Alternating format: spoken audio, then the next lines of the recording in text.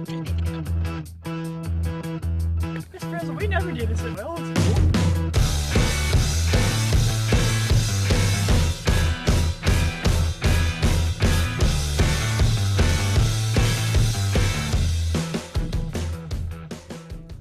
So, like six years ago now, it's been quite a while, the Mythbusters episode Thermite versus Ice aired on TV. And uh, in that episode, they played this clip.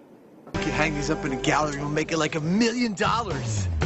So Jamie's special thermite blend is hot to try. Now, ever since seeing that, I have wanted to make my very own piece of thermite art, and I've finally done it. This is one of them. Of course, you make a whole bunch of them at the same time. If you have seen that episode, it's just a stack of plates that the thermite melts through uh, consecutively. And I think these are really awesome because every single one of them is has a different splatter. There's a little bit of randomness to it, and uh, the trick is that you have a whole bunch of sheets. This is actually uh, 26 gauge steel.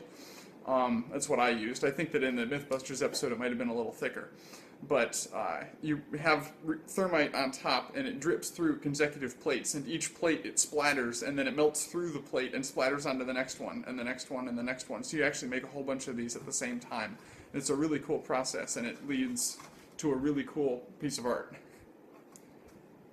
So the thermite reaction is a really unbelievably powerful thing just because it releases a freakish amount of heat. And the reason for this is that the products of the thermite reaction are really, really stable. Now, every compound has uh, a formation energy, which is basically the energy that is required to hold all of the atoms in that compound relative to one another where they need to be. So, if you look at the atomic scale, everything's bonded to everything, all of those bonds have energies. Basically, how much energy does it take to hold it where it is?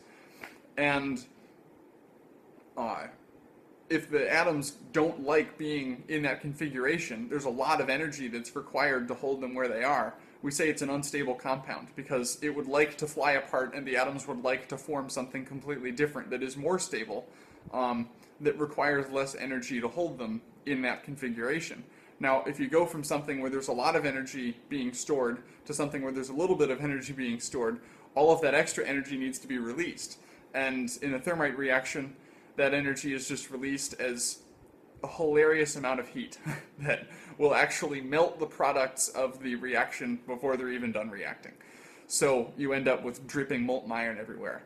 So releasing an enormous amount of energy at once sounds like an explosion, but thermite is actually not an explosion because of a couple real points. Technically, an explosion has to have the reaction front moving through the material faster than the speed of sound. So in the case of thermite, this is clearly not the case because it's just like a pile of metal dust and it's slowly being consumed by this. I mean, quickly, but not speed of sound quickly. So that's strike one. Strike two is that thermite reactions, by definition, release no gaseous products. So if you burn something like octane in your car's gas tank, um, it's a product of that reaction is hot water vapor. So it's actually an expanding gas, and that's how your engine works. It expands and it pushes on a piston.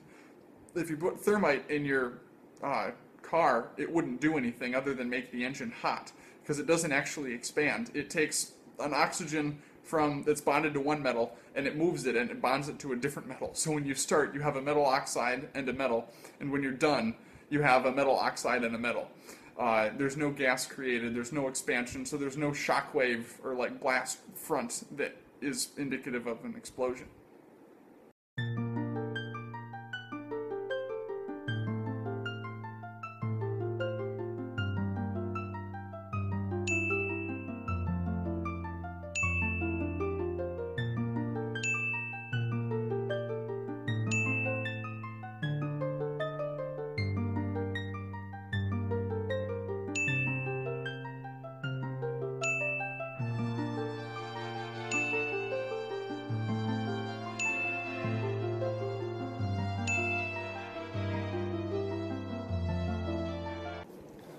Thermite is a mix of finely powdered aluminum and a metal oxide.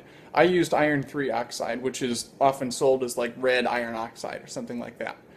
Now, during the reaction, the oxygen leaves the iron and bonds to the aluminum. And it's a very simple change, but there's a huge energetic difference between the uh, the reactants and products here. And that difference in energy is all of the heat that's released by the thermite. The trick to thermite is that although it's incredibly energetic and basically impossible to stop the reaction once it's going, because it's not only strongly exothermic but it's self-oxidizing, you can light thermite underwater.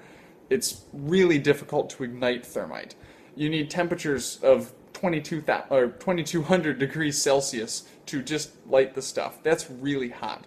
For reference, a glass furnace operates at a relatively brisk 1000 degrees Celsius. You could literally shovel thermite into a glass furnace and it wouldn't even think about igniting. It wouldn't come close. In fact, everything that burns needs some temperature to ignite, and then it burns slightly hotter than that, or else the reaction wouldn't proceed. So, in order to light thermite, we actually need to continually step up the temperature until we reach the thermite ignition point. So the first thing is real easy. It's a regular butane lighter.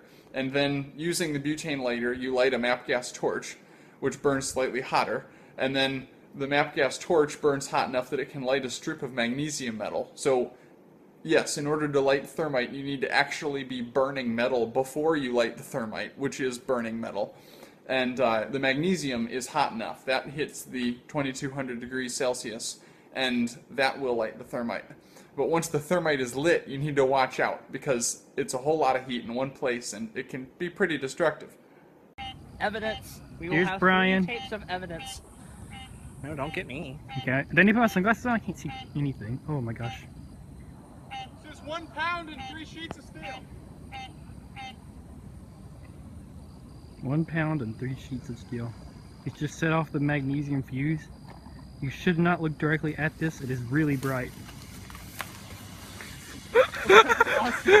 what have we done? Ah, it went all the way through. It's in the bucket. Yeah, your bucket's Shoot, done. melted a hole in the bucket. Yeah, your bucket's gone. Oh my god, that's awesome. Okay, we should probably go like inside now.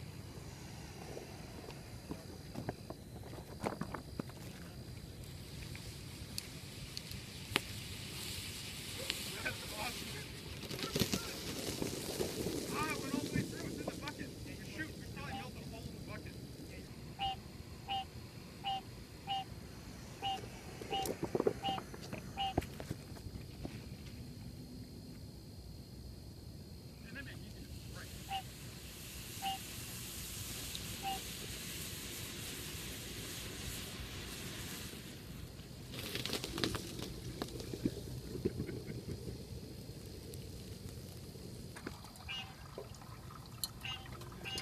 you can hear the bucket draining.